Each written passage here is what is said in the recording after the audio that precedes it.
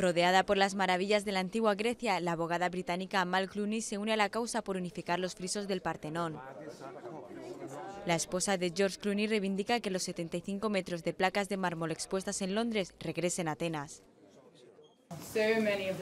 Muchas de las esculturas del templo han quedado incompletas y totalmente fuera de contexto.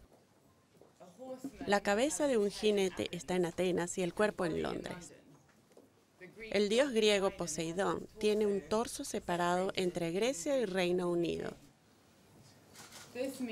Esto significa que nadie puede celebrar la maravilla en su conjunto en el lugar de origen. Desde hace 30 años Grecia viene reclamando las esculturas. Por el momento ni la joven letrada ni sus colegas londinenses están capacitados legalmente para defender la causa.